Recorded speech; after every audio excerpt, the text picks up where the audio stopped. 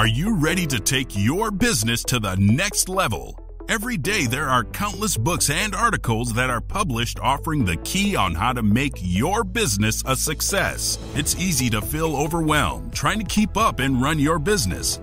That's why Deb Creer created the Business Power Hour.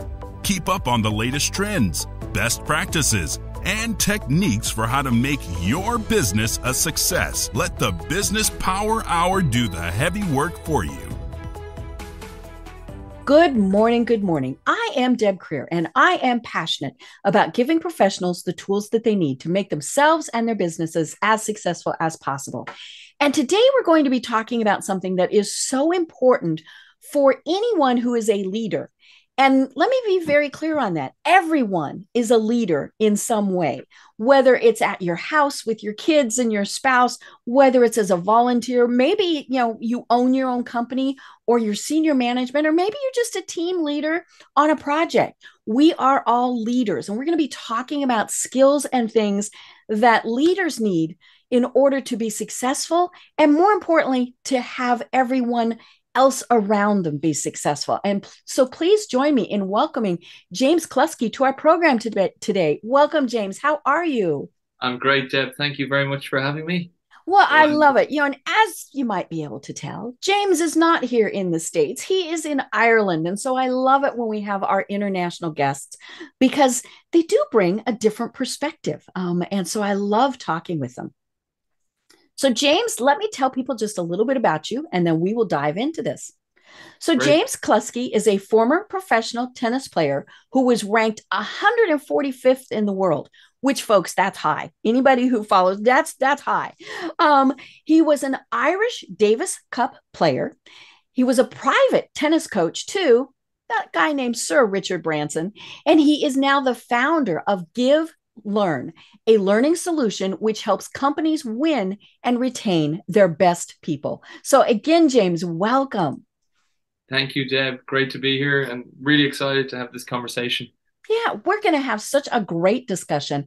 So, one of the things I always like to ask my guests is tell us how you got to where you are today, because I think it's so important for people to know and and to really find you know how it is that this is how you know for at least now that this is your mission in life mm. yeah so so i grew up in dublin uh, mm-hmm. i was a, a, tennis player as you mentioned in my bio um, i ended up when i was 14 uh, the an indoor center uh, mm-hmm. opened near my house. Mm-hmm. that's when I got really, really into tennis. Um, now I was into tennis before that, but then I got really into it when mm-hmm. I was 14. And the big thing that happened was actually a, a coach, a guy called Larry Jurovich, mm-hmm. moved to Ireland, uh, and I think you know some of it is luck, and some of it is we can be lucky the people we meet mm-hmm. and the people that support us and so on. But Larry really created this strong environment and culture in the tennis center, mm-hmm. uh, and then I kept I kept playing through juniors, and I was the number one ranked player in Ireland under eighteen, and I was recruited by a couple of colleges, uh, and I mm-hmm. ended up moving to Louisiana and going to uh, LSU for for four years mm-hmm. from 05 to 9 mm-hmm. and it was always my dream to play professionally and to mm-hmm. do all that and then when I finished college in 2009 I went to the professional circuit and as you said I got to 145 in the mm-hmm. world and I just loved traveling I loved meeting mm-hmm. people from different cultures and different backgrounds and so on and got to travel you know pretty much everywhere in the world which was which was amazing mm-hmm. And then as as all athletes, you kind of come to that point where you think, well, what am I going to do next? Right. Right. I, I can't do this forever. I can't do this forever is, is right. And I was always quite entrepreneurial and, and always kind of had business ideas and different things like that. And I think as a professional sports person, I think it's very it's very clear that you're climbing a mountain. And I think mm-hmm. as a business owner, business mm-hmm. person, you're kind of you, you have a mountain in front of you that you're mm-hmm. looking to looking to climb and scale. And when I came off that mountain in tennis, it was trying to figure out, well, what's the what's the next mountain mm-hmm. that's you know what's what's uh, what do I want to climb? And I met a, a business coach mm-hmm. uh, through through a friend who was a really really successful business guy, and we had this relationship where I would coach him tennis, he would coach me business, uh, and he he coached me, and what I kept coming back to was people, performance, mm-hmm. getting the helping people, getting mm-hmm. it, getting the best out of people, um, and that kind of started me to, or that that helped me to start my first company, which was High Caliber Collective, mm-hmm. which was all around going into organizations and running programs around leadership and mm-hmm. communications and personal development and so on. Um, and then COVID, I had the idea for Give Learn before mm-hmm. COVID, but then during COVID, I had a little bit more time on my hands. Right, you couldn't go out and about. Mm-hmm. Yeah, exactly. And then I started Give Learn, mm-hmm. um, which is, as you mentioned, an online learning solution. Uh, and yeah, I think my mission it's it's. I love people. I love mm-hmm. meeting people. I mm-hmm. love um, you know, helping people try and be the best version of themselves. Um, and I really believe in that area of, of soft skill development mm-hmm. and, and how important it is to um, improve those areas of your life. So hopefully that gives you a good big snapshot of who I am. I love it. Well, describe Give Learn a little bit more. Tell us more about it. So Give Learn is a it's an online uh, platform. So we mm-hmm. have a full calendar mm-hmm. um, of live and on demand classes and mm-hmm. courses and it's all around soft skill development. Mm-hmm. So we have where we have a lot of small and medium sized companies who mm-hmm. are using the platform. So we have weekly classes, mm-hmm. presenters from all over the world, and course leaders from all over the world. Um, last month we had a, a program with on resilience, for example, and mm-hmm. um, with Brian, who's a neuroscientist on on building resilience and mm-hmm. and, and so on. We have things like presentation skills, uh, imposter syndrome and dealing mm-hmm. with imposter syndrome. So for companies, we have that full full program mm-hmm. of classes and courses. And then what we do a little bit differently, two things. One is our classes are live, so users mm-hmm. come from around the world and mm-hmm. join other users, and they can engage with the presenter. And then users earn points for attending our classes. So this is ah. really important to me. Mm-hmm. So they earn points and then they can use those points to donate to social causes and give to ah. social causes. And mm-hmm. so for me, the vision at the start was mm-hmm. we need to link learning to doing good in the world. So mm-hmm. An individual invests in their personal and professional development. They're mm-hmm. doing good for themselves, but then they're doing good for someone else right. somewhere else. Uh, mm-hmm. so that's that's give learn in a nutshell mm-hmm. what we're doing. I love that concept because you know it doesn't matter what level we are at, what age, what anything, you know, giving back, I think is so absolutely critical. Um, mm. And and it doesn't matter if you're giving millions or if you're giving an hour of your time. Mm. Excuse me. Mm. It's important to give back. Um, mm. and I think it's so important for companies to encourage their employees to give back and i think this is is something that is is um, you know they can I, I worked for a company um, it's changed its name now but uh, when i worked for them it was ing now it's called voya mm. financial um, and you're probably familiar with ing because it is yeah, a, yeah, danish yeah. company um, and the um we we had a very large philanthropic program um, and i helped manage it. That was uh, one of the things that i did. It had a, a, pretty hefty budget. I mean this was 20 years ago and our budget was you know close to a million dollars. And um and I, and if there was something special i could request more funds. Mm. but it, we very strongly believed that our employees wanted to give back and you know and, and in fact needed to you know to kind of mm. help it just helped them. You know we knew how how how good they felt. And so they could either give back individually um, one of our big programs since it was a, a, a, financial company a lot of mathematicians worked mm. for us. And so they were tutors at a local um, junior high middle school. Mm. and uh, you know and, and they loved that. They would go every week down and work with you know the same student. And and a lot of times they would work with them and and you know end up forming friendships with mm. these kids forever you know or we did have obviously that the um, things where we would you know, we just gave funds i mean you know there were mm. times where that was appropriate or when we would do bigger company projects mm. and even back then you know our employees told us that that was part of why they worked for us mm. and i think that is one of the very important things that, that you talk about is you know employees value that and so they want to work for those philanthropic minded companies and I think on that, so I, I bookmarked an article this morning and mm-hmm. I, I skim read it. So mm-hmm. I don't want to kind of quote com- complete stats, but it was from uh, PwC uh, in, in Europe and they were mm-hmm. talking mm-hmm. about stats around Gen Z mm-hmm. and generations that are coming into the workplace mm-hmm. now and how they're even more concerned with what is is the company doing good for society? Is the company doing good for the Right. world?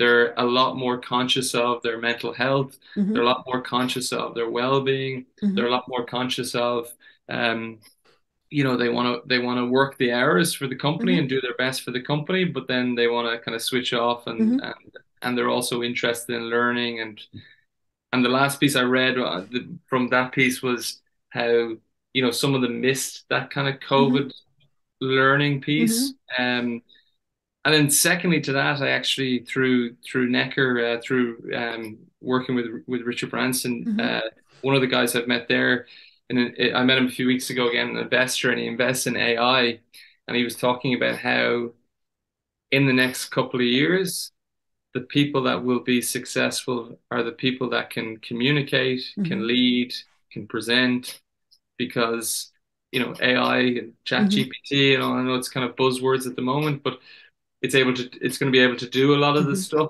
Uh, Right. so so that kind of people it can't do the people piece. Mhm. That that um, people piece is really important, Mhm. and being able to lead and communicate and so on. So um, I think it's I think it's really really important. Mhm. Right. Yeah, you know, those those soft skills, as you say, are so important. Um, I've been having lots of discussion with people about AI and Chat GPT and is it going to Mm. replace everyone? Well, it's only it to me, at least the way it is right now, is you know, like I yesterday, I had it write a blog post for me. And then I'll go in and I will personalize it, I will tweak it, I will Mm. do th- those things. And so what's the difference between if I had, say, a VA write it for me? You know, Yes, yeah, same yeah. same type of thing, except it did it in oh about 30 seconds. Um, you know, and Yeah. cost me nothing because I used the free version. Yeah. So, but but it is about adding that personal touch back in. Mhm. Um, and Mhm. so talk to us more about why soft skills are really so important for leaders. Mm. Well, a research research from Harvard says that 85% of job success comes from having uh, having uh, good soft skills. Mhm, So the research kind of backs that up. mhm, But I also think, you know, in terms of getting the best set of people, I Mhm. think in, in terms of supporting people and coaching people and developing people, you know, people want to work for someone that they feel has their back, that they Right. feel is investing in them, that they Mhm. feel has their best interests at heart, Mhm. and so on. And I think people are more likely to stay with companies, Mm-hmm. right, if they feel if they feel valued by their Mhm. employer. Um, so I think valuing people is is is of the utmost importance. Mm-hmm. And look, it, it, it costs a lot to replace someone, right? So Right. if someone walks Mhm. out the door and you have to hire a person, you have to, Mhm. you know, pay to onboard them, to train them, to Mm-hmm. upskill them. Uh, it, it it costs a lot. So I think, you know, the metrics back up how important those kind of soft skills are. Mm-hmm. Right. And I think sometimes, you know, I think sometimes companies, you know, we we're, we're very busy being busy. Mhm. So we're in a lot of meetings. We're we're we're all, you know, we're all busy. We're all working hard. But I think when I was a professional tennis player, I think sometimes actually taking a step back and training or, you know, getting some coaching and Mhm. working on your game to then go again and Mhm. you know, try and achieve your goals as opposed to just feeling like you're kind of chasing the next Mhm. thing, right? So I really believe that companies need to, in terms of those kind of priorities, is invest in people to Mhm. upskill them to to be more successful, to then obviously help the company in the longer term, you know, achieve their vision, earn more, Mhm. all those types of things. And so go on, you were going to say something there. No, yeah. Oh, sorry. No, so I think I think it's just I think it's uh, super important on that, and I think life is too short, right? People want to Mhm. work for people that they like. People want to work for people that they well, like is probably the wrong word. I think respect is Respect. probably Mhm. yeah, it's probably a better word. Uh, people that respect um, and and a company that has a has a purpose, mission, vision, Mhm. all those types of things. Right. And lives it. I mean, you know, it's one thing for it to be on the wall somewhere, you Mm. know, but they need to actually, you know, do what they say they're going to do.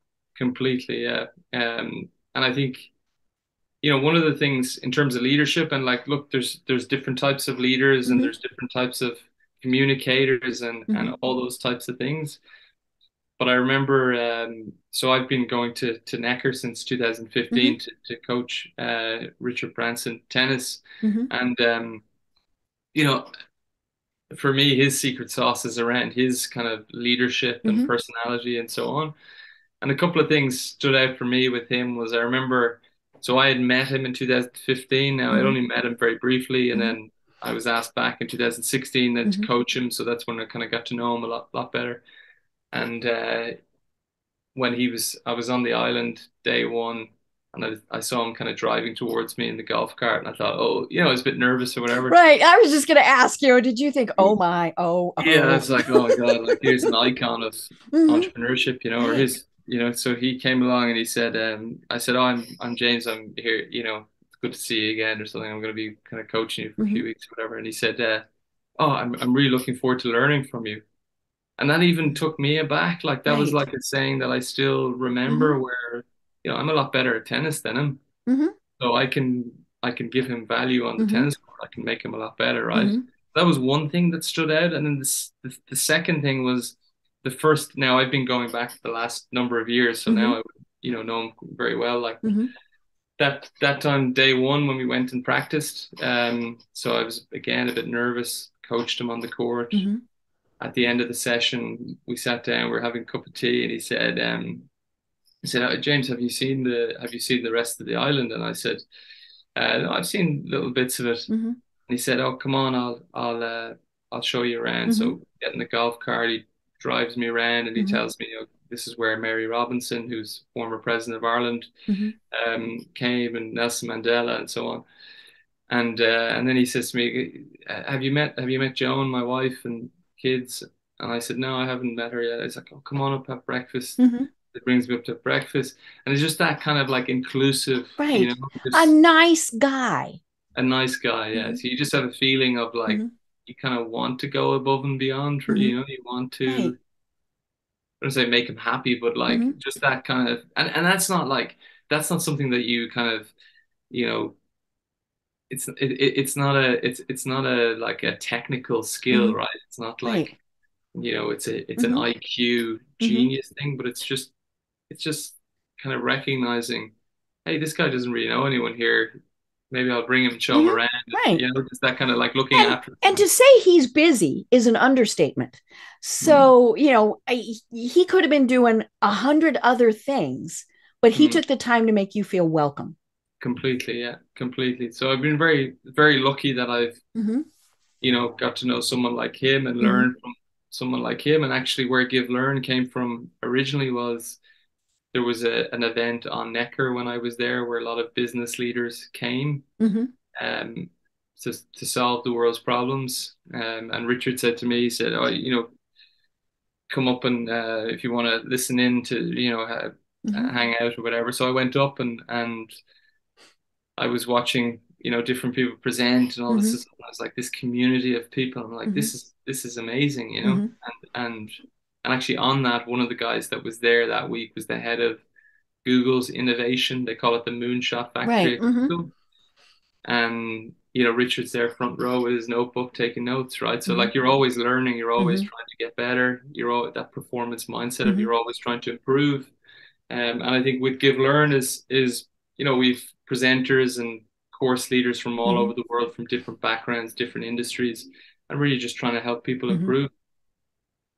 You know, and I think that attitude to always be learning is probably the most critical thing. Um, you know, and and when we look at our leaders, and you know, whether again it's you know somebody at, at a, a fairly you know basic level, you know, uh, or all the way up to you know major leaders like like Sir Richard Branson, those who are successful are the ones who say, "I'm always learning." You know and and you know even if they're saying you know i'm reading x number of books a day i you know or articles or you know the first thing i do is i look at the wall street journal all of it that's Mhm. all learning Mhm. um you know and and i think that is just so absolutely critical for all of us i mean you Mhm. know are we looking at what the daily news is are we reading industry you know publications are we learning from the other experts in our field because you know it, none of us know all of it. And I think that's where we really see the difference in leaders who are you know somebody that we like and respect. It's those who who you know we know are are always looking for more and not saying i know it all. I can you know i don't need to do that. You know i'm you need to listen to me because i am the expert. Mm. i couple of i think it's yeah you've summed it up really well. There's a couple of things i wanted to say was one was on networking so mm-hmm.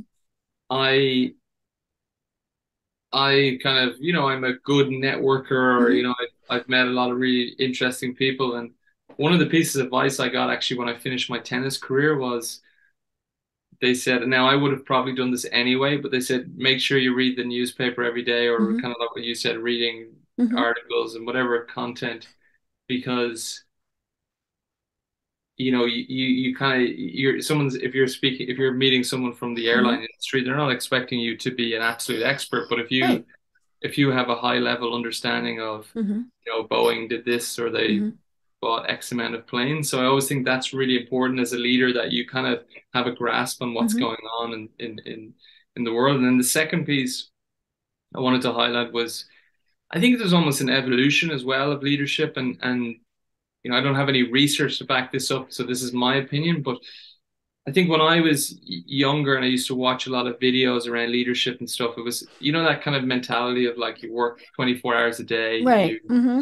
The you, workaholics. Like, the workaholic. Mm-hmm. Whereas I think, and, and I think this is probably one of the biggest learnings I learned from from Richard actually is, you know, I was there 30 days with him uh, last year. He played tennis 28 days, twice a day. Wow so he and he's publicly said this that he he and the research you know that kind of research shows that if you're more physically active and mm-hmm. so on that you're more productive right mm-hmm. so like it's almost non-negotiable in his right. diary that he had now i'm not saying it has to be tennis it can be you go for right. a walk you mm-hmm. go for a run whatever it mm-hmm. is for you right but I would have previously woken up in the morning and said, "Oh my God, I have to get back to Deb on an email. Mm-hmm. I have to do a right. proposal." Yeah, we jump right in. Mm-hmm. I don't have time to do this, but now I make sure I go for a walk first thing in the morning because mm-hmm. I just find like it just kind of clears mm-hmm. the head and gets you, mm-hmm. no matter what's on in that day. Right. I think I picked that up from Richard in terms of like,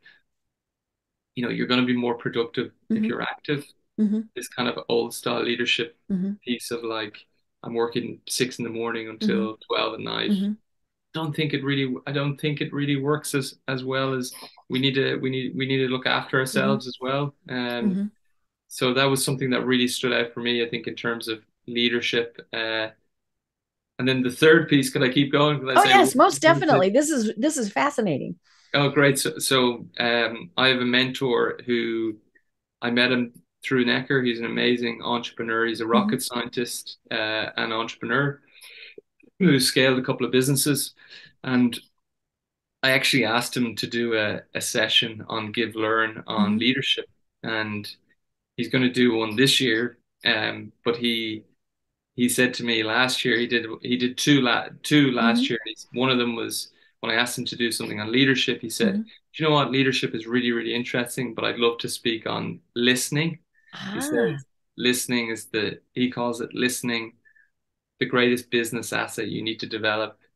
Uh, as in, yeah, how important that is. And mm-hmm. he's quite an introvert guy, just mm. in, in, terms of sales and everything, mm-hmm. just how to listen.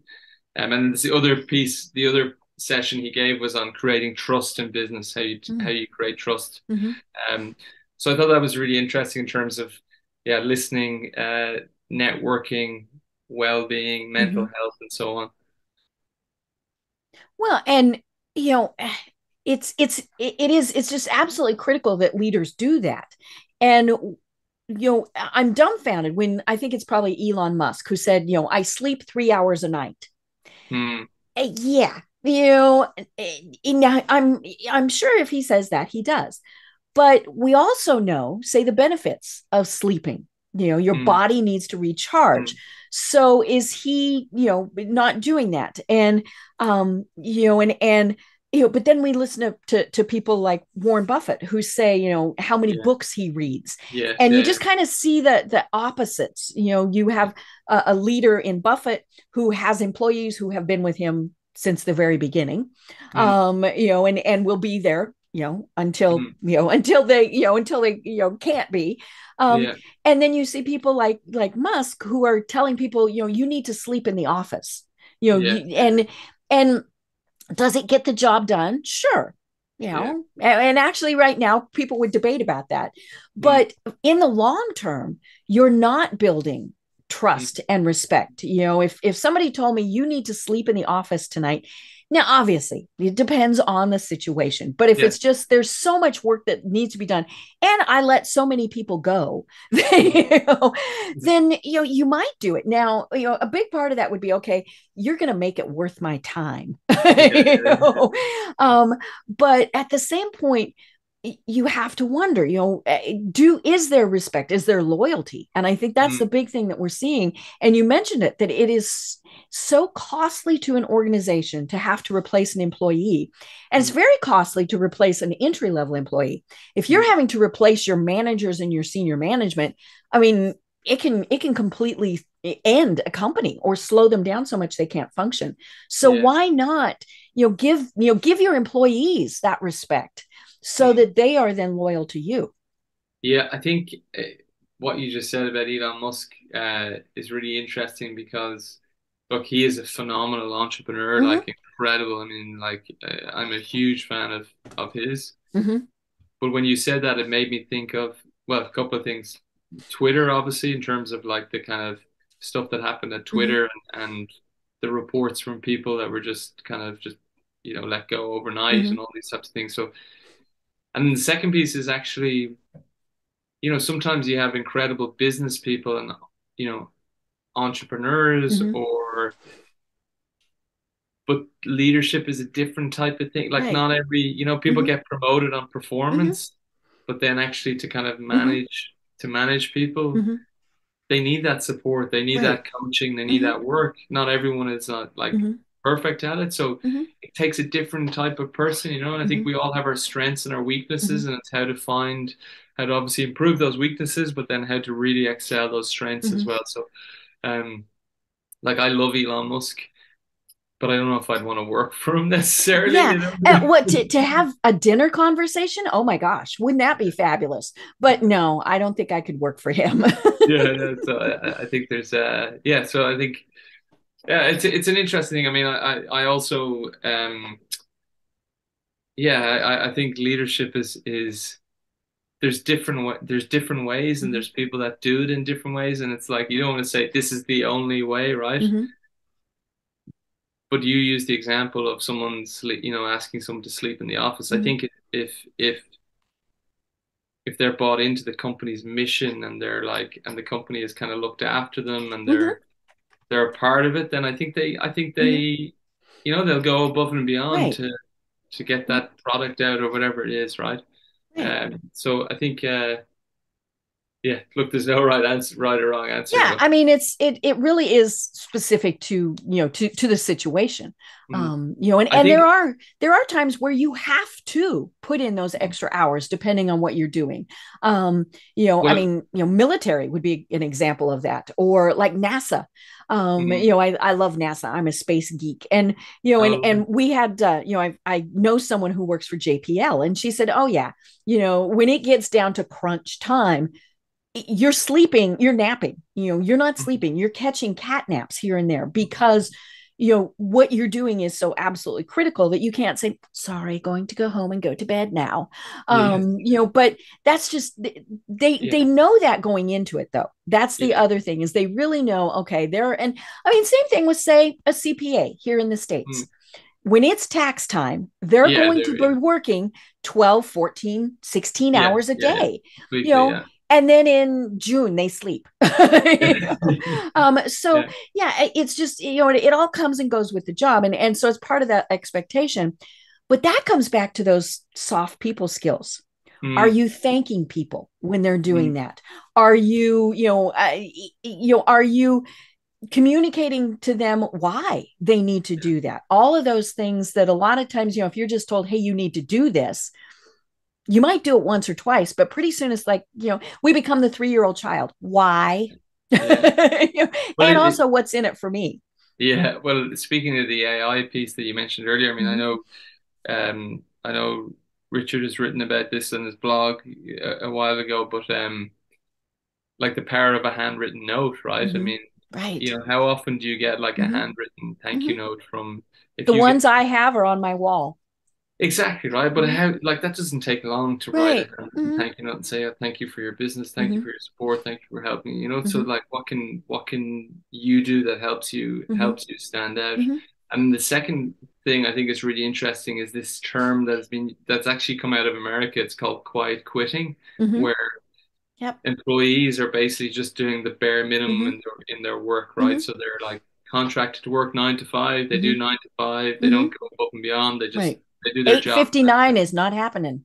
Exactly, yeah. So it's Mhm. and again, I think it's as a leader and in terms of kind of soft skills Mhm. and developing and giving, you know, ex helping people excel in performance and so on. It's how do you inspire people to Mhm. actually to to to do more than Mhm. that, to kind of go Right. above and beyond for a Mhm. client or a, you know, fellow Mhm. team member or something like that. So I think it's yeah, it's it's interesting times in terms of in terms of that piece, and then also as obviously as we kind of you know we're in this virtual world which Mhm. has incredible um incredible positives, incredible opportunities, all that stuff, but it's also Mhm. got some challenges as well, right? Mhm. Where you know people can feel isolated and Right. lonely and um you know, it's easy for us to talk here now and you Mhm. say, James, how are you doing? And I say, Oh, I'm I'm good, yeah, I'm Mhm. fine. And I can kind of on a And I'll just okay. Mhm. Yeah, exactly. Whereas if we met in person and we Mhm. went for a coffee or something and then you'd ask me, Oh, how are you feeling? I'd say, Oh, okay, fine. But you'd see my body Mhm. language, you know, a little bit more is what's you know, what's wrong Mhm. to try and get that person to open up and so on. So I think there is challenges. I think there's challenges, but there's also great opportunities as well. So so Right. um yeah.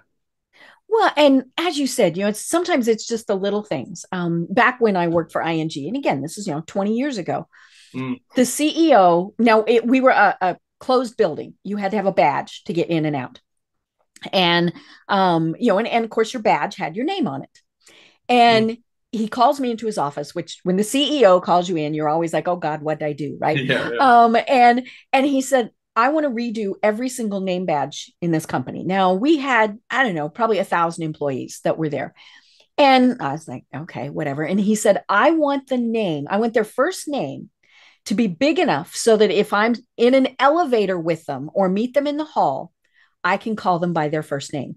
Mm, And I remember thinking, well, this is a big waste of money, right? yeah. But then, of course, I thought about it and I realized how right he was.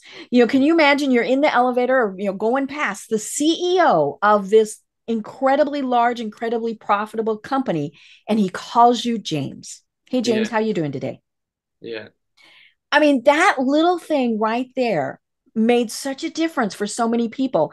And, you know, of course, we never told people why we were redoing the badges. We didn't want them, you know, it was just, oh, you know, the technology changed or something. I don't know, you know. Mm, Um, but it it really did make a huge difference. And and they say, you know, the sweetest word to someone is their own name. mm, So just simple things like that. I mean, if you if you and and and I'm one of those people that is name challenged. I might call you Bob. I might call you know, um, but I, I do the thing of repeating somebody's name back to them so that maybe it sticks in my head a little bit more, or even using it in the conversation where sometimes it might seem a little awkward, but it's Mm, really not because they're yeah. like, you know, hey, you know, she remembered my name, Yeah. um, and Well, they were and saying that Mhm, I saw a thing about Bill Clinton that that that mhm, was his that mhm. was his Yep. um secret sauce in Mhm, terms of like he'd meet you'd meet him at a mhm, party or you'd meet him at something mhm.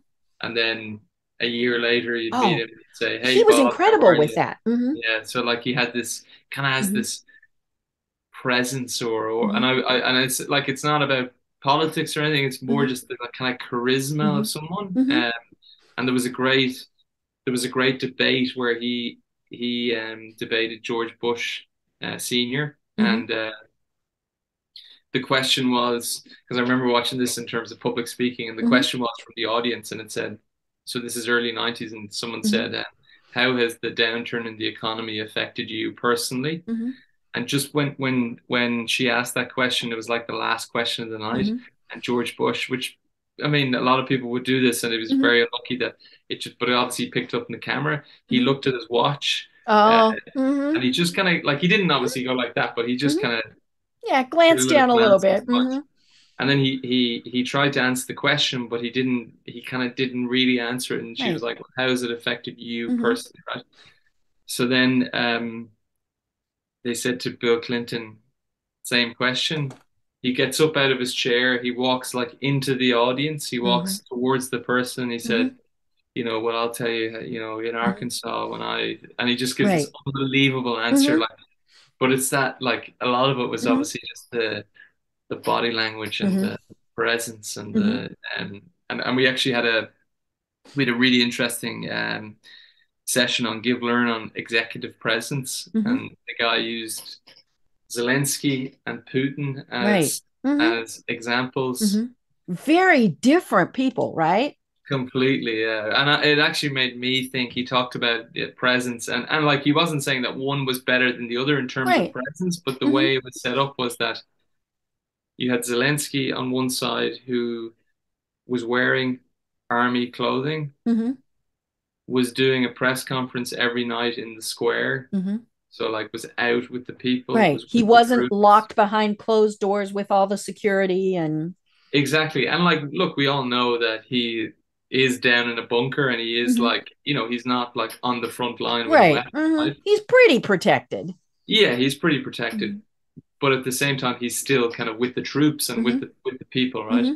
And then it was the contrast was you had Putin on the other side who was in a palace in Moscow. Mm-hmm. He was paranoid about COVID and his mm-hmm. health, and I know a lot of it is rumors and different things, but mm-hmm. the picture was true in that he was at this huge long table. Mm-hmm. He was sitting at one end, and then there was a load of people sitting at the other end, like generals, but they were like not sitting beside him; they were down the far end. So it's like, who do you think is getting more accurate information? Who do you think mm-hmm. is more kind of has their ear to the ground mm-hmm. and so on, right? So, so you know, what can we learn from that in terms of mm-hmm. leadership? Um, I think uh, is, is is something powerful as well. Right. Yeah, and we see that with athletes also and celebrities. Um, you know, we were talking before the program and you know, we we've talked about it. You know, you you were a professional tennis player. Mm. Um, you know, and I've been associated with uh, University of Colorado and so some of the the athletes that have come out of there. And it's always very interesting, even just watching things. I mean, like right now here in the States, um, we've got the NBA finals on and the Nuggets are in. Oh my gosh, the Nuggets are in. Um, never had, you know, they've never been there before, but one of the players, and he is the, the big player, and I am not even going to attempt his name because I, it's Nikola Djokovic. And I know I said that wrong, um, okay. but um, he is from Serbia and he's this phenomenal player and he's this big beast of a man. I mean he's he's huge out there. Every time he's interviewed he deflects to someone else. Mm. and you know and, and he's the reason they're winning. I mean he and, and one of the other players.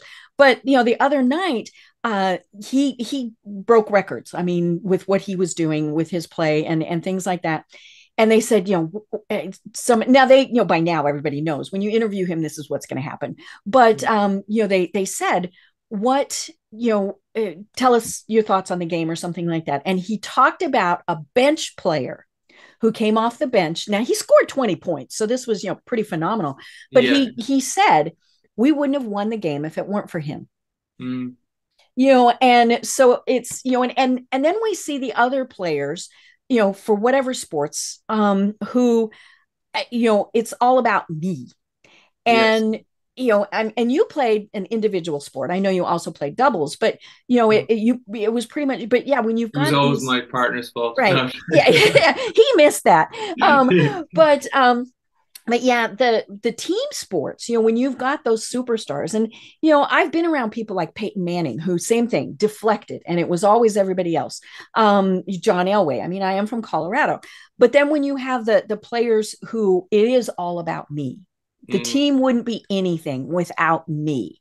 Mm. um you know it, it's you see those people you see those superstars and i think you know we do you know in, in a lot of ways we put them on those pedestals Mm, but at the same point, you also know that they're not beloved by their other players mm. you know by and and all of these things and and you know if they get hurt they kind of look down at them and go huh, okay yeah. um, but uh, but yeah it's it, it, it is different on how how you react to other people, how you give recognition to other people. And again, I think when we see good leaders, those are the people who are, yeah, I'm the leader of the team, but I couldn't mm. do it without the other people. Mm. And I think when you're speaking there around sport, I think the thing that stands out for me is this thing of feedback, mm-hmm. how important feedback is. And we actually, I actually, so I was at a talk a couple of years ago with a guy, uh, Pat Lam's his name. He's a he's a famous rugby coach mm-hmm. in Europe, and he talked about he talked about coming to Ireland and he talked about feedback and he said mm-hmm. he's from New Zealand, Pat, mm. and he he said to one of the players on the team, he said, um, "Do you do you like do you like feedback?" And the player, the young player, said, "Oh yeah, I love feedback, coach. Yeah, yeah I mm-hmm. love feedback." So, but Pat's point around feedback was when so he took the players to a, a restaurant in Galway for dinner. The guys ordered a steak dinner. One of the guys asked for it to be medium, and then anyway, the, the food comes right. Mm-hmm. The kid is eating his steak and he's thinking, I asked for this to be medium. It's well done. Mm-hmm. And then he says the the owner of the restaurant comes over to the table and says, "Guys, how's everyone's meal mm-hmm. tonight?" And he said the player turns around and goes, "Oh yeah, amazing, thanks." Right. Mm-hmm. And Pat's point was actually you're doing him a disservice. A disservice mm-hmm. to the owner of the restaurant mm-hmm. because he wants to make that he mm-hmm. wants to make that restaurant better, right. the food better, and so mm-hmm. on. So you actually you need to crave and get that mm-hmm. accurate feedback mm-hmm. so that you can actually make things better, right? right. And we had uh, on our uh, platform, we had a guy Bernard Jackman, who's a professional rugby player. Mm-hmm. He talked about like the evolution in in rugby. Two things. One was he when when um, they'd come in for a Monday morning debrief. Mm-hmm. He said with the previous coach, it was very if you made a mistake in the match, you would kind of shy away from from you know you were like, oh god, I don't. Yeah. Oh, what's he gonna do? yeah, exactly. Where he said the mm-hmm. new coach, the coach that this really mm-hmm. successful coach has created this culture where it's you own the mistake. So mm-hmm.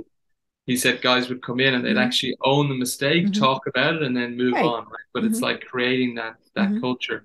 Um, and he said that they they would review the game Mm-hmm. Say say they play on a Saturday, they review the game, and then Monday at twelve o'clock or Monday at two o'clock, a picture of a, a of a sumo wrestler mm-hmm. goes on every screen around mm-hmm. the, around the uh, a, a, academy or around the mm-hmm. place, and that's the sign for it's it means shut up and move on. So mm-hmm. we talked about the yeah, mistakes. Done. Mm-hmm. We've we've done the debrief. We've talked about it.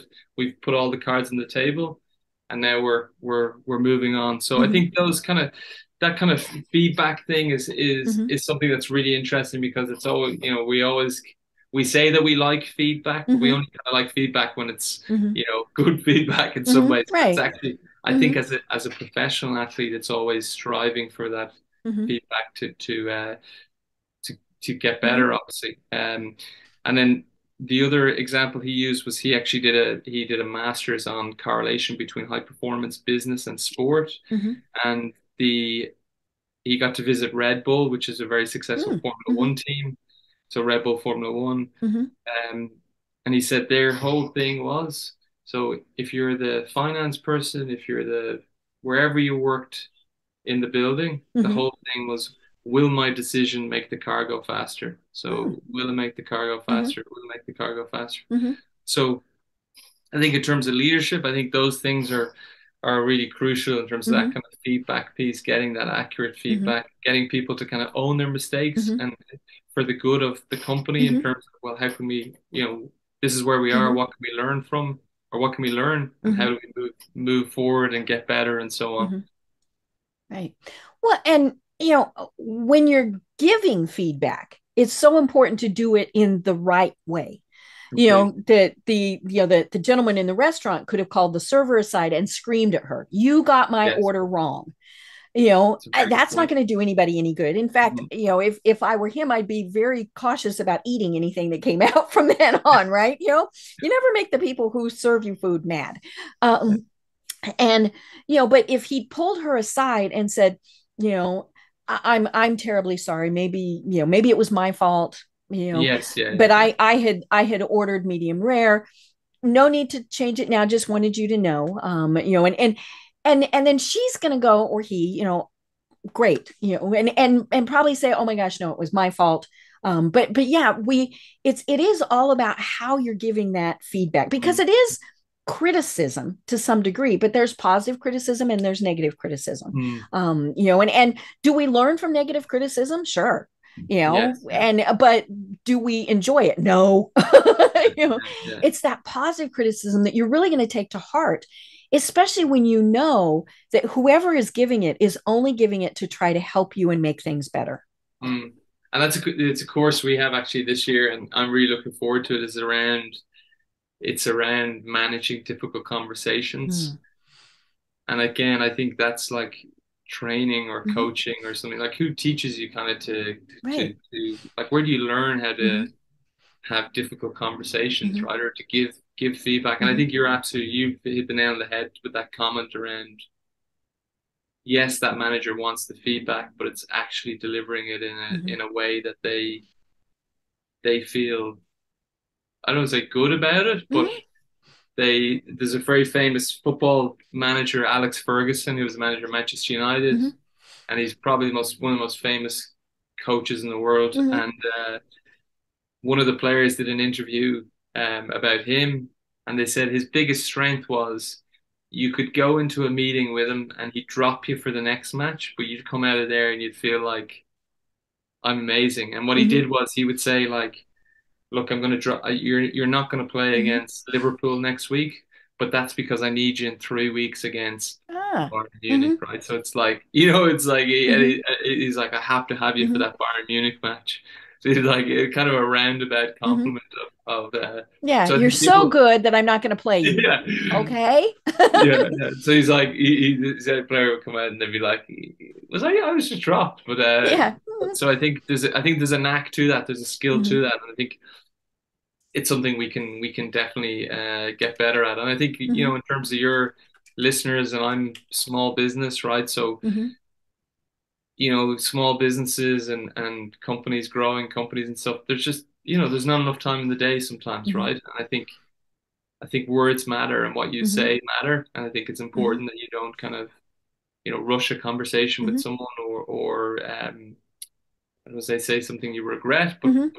I think there's that element of of um time is time is precious, and I think getting things right is really important. right and even if it means that you have to pause for a moment to Mm. kind of gather your thoughts maybe it's that you're you know pausing so that you're not saying you idiot you know or or worse you know and, and i think excuse me that is one of the negatives that we see with social media Mm. um, is people you know they fire off these things that you'd never say to somebody in person um, and and for you know in, in many cases we don't know them you know it's just kind of Mm. like you talk to your tv you know you might say that was a stupid play. How you know how did you why did you do it that way? Um, and and we believe that the computer's monitor is a shield that protects us Mm. but you know or even worse you know in, in email. Maybe you get an email from you know someone you work with and your first response is to type to them you know that is so stupid. I can't believe that you did that or you want to do it that way or whatever Mm. you count to 10 sometimes maybe you have to count to 100 Yes, or yeah. whatever you know or write your response and then delete it you know i always Yeah, tell people yeah. you know that's okay to do just don't have anybody in the to field so it doesn't accidentally get sent Yeah, um you know and and but because we have those emotions and it's it's you know i think it is okay to get those emotions out um Mm. i work with cancer patients and and one of the things that i was telling somebody the other day i said i am not the person who is going to say oh it will be all right. You're Mm. so strong. You can get through this. No i'm the person that says bad words and says now you need to get angry at this. That is part that is a healthy part of the process. Mm. but then it's okay from there we move on.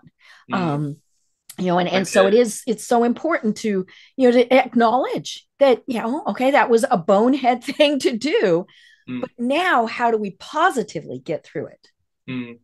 I was thinking there the, the swan that's like above the water and the, uh, under Yeah, the water, the paddling legs are- paddling, furiously right Mhm. Yeah. Um, and then the other thing I think I, in terms of leadership, I think and just generally one of the things I I kind of love to speak about is this is this concept of imposter syndrome hmm and how like Yeah. you know we don't know what someone else is going hmm through as well, right? We we can't hmm control what someone else is going hmm through and also ourselves, right? I think Right. I think we think that you know you probably look at the CEO of ING and think hmm he's got it all figured out, Right. When in But reality, maybe not. hmm exactly hmm right. So like so you know I I I so as you mentioned at the start, I got to 145 in the world in hmm tennis. I got into a, an ATP event in Sweden. I went and played this event, and and um, it was one of the biggest events I've played in my life. And I remember going to book a practice court, hmm so going to the office, book a practice court, and I saw um, David Ferrer was booked on the. So David Ferrer was like number four in the world in tennis. Right? He was an amazing player, and I remember genuinely going back to my room, hmm and this sounds absolutely ridiculous, but hmm going back to my room and sitting there and thinking I was going to go onto the practice court. David Ferrer was going to stop practicing. He was hmm going to turn around. He was going to look at me and he'd hmm say, How is this guy in the tournament? Why is hmm this a fan hmm that's come onto the hmm tennis court? So I had all these different thoughts in my head. And and I thought I was kind of unique in that sense that like, you know, I I, I you know, I'm not good enough to be here, all that sort of stuff. And and I think from speaking to people, whether it's in sport and business, I think we all have these kind of gremlins that are like, you know, Yeah, that little voice.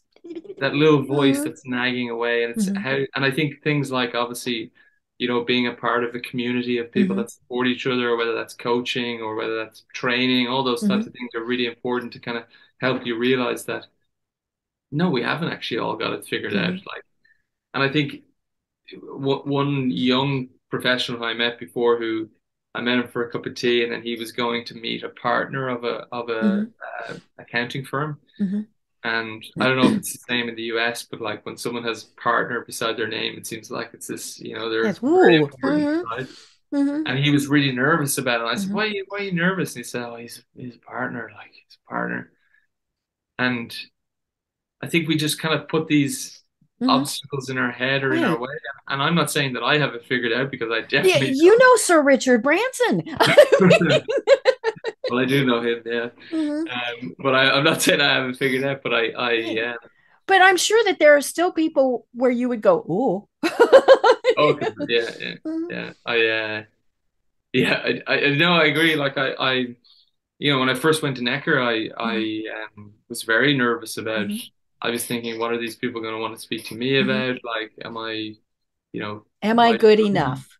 am I good enough? Yeah, and. I think it doesn't matter. I think what level you're at. I think we Mhm. all we all go through that. I mean, Mhm. we had a on our platform we had an imposter syndrome program, and the lecturer quoted that there was I think it was 97% of people deal Mhm. with imposter syndrome. Mhm. I was like, I thought it was 99.999. Uh-huh. You know? Mhm. So um, I think it's something to be conscious of as a uh, Mhm. as a leader or as an employee Mhm. that look, we we don't have it all figured out, and we're just doing our best to keep improving to obviously make the car go faster Mhm. and keep keep you know falling failing forward or falling forward Mhm. as they say. Right. You know, and I think we need to remember too that those leaders all have the people that they go ooh for also. You know, Mm. I'm not sure who Sir Richard Branson would be nervous about meeting, but they're probably somebody. I mean, maybe Yeah, it's the Pope or and I, you know, I, you know, whoever, you know, because we're all human. You yeah. know, I and asked him and I yeah. Oh, sorry, sorry. I just got got a question. I did ask him who's like Mm-hmm. who's the most impressive kind of Mm-hmm. you know person that that he's met because I remember Mm-hmm. um, asking this and he loved uh, Nelson Mandela was Ah, the was the mm-hmm. person that he he Mm-hmm. said although he I remember him saying to me that Nelson Mandela is like it's always it was always an expensive dinner when you had dinner with him because he said they'd have like he'd have he'd he'd he'd have like the starter main Mm-hmm. course and then it would come to dessert Mm-hmm. and then Nelson Mandela would be like and Richard um South Africa we need to do this this Yeah. Mm-hmm. like trying Yeah, you know pony up. yeah exactly yeah it's like it's those expensive dinners so Mhm. um but yeah I think we all have those Mhm. ty- we all have those people right that that um Right. that kind of um yeah are are I don't Mhm. want to say intimidate us but like Mhm. I think they almost inspire us or Right. excite us Mhm. or or uh, but I do think that piece of of that community of Mhm. people that you put, whether that's a Mhm. coaching circle or a you know a group that you put yourself around. I think that's really important that, that those people kind of uh, support each other. Right. Well, eh, James, we only have about five minutes left, and I would be remiss if I didn't ask this one question because I've never had, you know, in, in 881 programs, I've never had a Guinness World Record holder on the program. No. So tell us just a tiny bit about that. So uh, we uh, we broke the Guinness World Record for the longest tennis doubles match. So we played for uh, 60 hours continuous Whew. tennis Mhm. for, for charity. So we raised money for uh, an organization in Ireland. Actually, they do a lot of it's called blind tennis, where people who are visually impaired. Right. They Uh, use special equipment yeah. and mhm, Yeah, they have a special ball with the with Mhm. the uh, with a bell on it. mhm. Um, so uh, yeah, we broke the record. The record was 57 hours, and we played for 60. So Wow. um, it was one of those ones where, at the time, it sounded like a great idea. But I don't know if we do it again. The rules were you had a you had a five minute break per hour. okay. Um, so, and then we we actually in the days in the week before, the one thing that stayed with me, we had a um a guy who's an ultra runner. So he he one of these kind of guys, and he said to us, "Look, the sun will come up on the Sunday morning. hmm The question is whether you guys will still be standing on the court." hmm And that was something that stayed with me in terms of like. hmm you know we need to try and get through get Mhm. through the dark periods and I think I think um you know I think I've never ran a marathon now so I don't know when people talk about you know you go through the wall and all that stuff but Uh-huh. I think one of the really interesting things for me was like when we got when it was dark when it was at night it Mhm. was really really tough but Mhm. actually that last day when the sun came up Mhm. the last like 10 Mhm. hours were not Mhm. that difficult but the previous 10 hours were really hard you know so Right. in terms of business wise, I'm always like, well, maybe it's a case where, you know, it's like you're you're almost you're you're you're on the really hard part of the mountain and you just got to get over that little bit and then it's like, you know, it doesn't go up forever. Mhm. Yeah, exactly, exactly. Yeah, you said it better than me. So uh, yeah, it was a great experience. I love it. You know, and uh, it's it all just goes to show, you know, exactly what we've been talking about that you know, leaders have to continue learning. You know, they have to have their own coaches, right? You know, professional completely. athletes that are very successful still have a coach. Mm. Um, you know, or they might have multiple coaches. In fact, many of Mhm. them do because you've got your Mhm. strength coach, you've got your conditioning coach, you've got your this coach, that coach. I mean, you know, nobody who is successful knows it all. Um, Yes. you know, and, and the second we think that, that's when we're in trouble.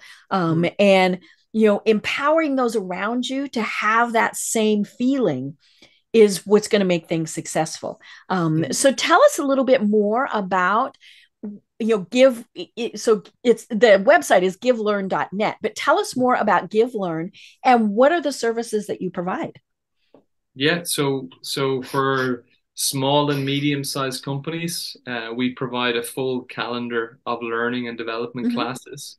Um, so classes range from leadership, mindset, presentation skills, imposter syndrome, and we've presenters from all over the world. So I've mentioned we have had rocket scientists. Mhm. We had um, Sirisha, you mentioned NASA. We had an Mhm. astronaut who went up with Richard on the first uh, Virgin Galactic Mhm. flight, Sirisha Bandla. Um, so we have a full calendar, a full Mhm. solution. It's a monthly subscription for companies. Mhm. Um, so uh, full calendar of classes, and then we also run bespoke programs for companies as well. Um, Mhm. that if they want to do something specifically for their for their teams, okay uh, we run sessions. okay So if you if you'd like to learn more and and get in touch with me, um, if you connect with me on LinkedIn, so Mhm. James Cluskey, Cluskey, I can't spell my, say my name, James Cluskey, um, and then my email is j.cluskey at givelearn.net. i So love it love to hear from you guys. you know and and you know back to our original point you know we all need to give back whatever Mm. level we are able to we need to give back Mm. so james do you have any final thoughts that you want to leave everyone with Yeah, so so I'm thinking of a couple of couple of quotes. I think a couple of things that have, I suppose, my philosophy in terms of my journey has been surround yourself with the people you want to become. So I think that's a really whether that's a business community group, whether that's you know give learn and learning from people, whether that's your own coach, just get around good people, people that have achieved and that can support you on that on that journey. So I'd say that would be my would be my piece is surround yourself with the people you want to become. Oh my gosh. And I am so glad to have met you so that I I'm now part of that, hopefully. Um oh, and you. and it is just you have been so inspirational and I've loved this conversation. I hope that we're able to do it again. Until then, I'm Deb Creer. I've been having a great time talking with James Cluskey of Give Learn. And until next time, everyone have a great day. Tune in for our next program for even more trends, best practices, and techniques for how to make your business a success. The Business Power Hour, hosted by Deb Krier, is proud to be part of the C Suite Network.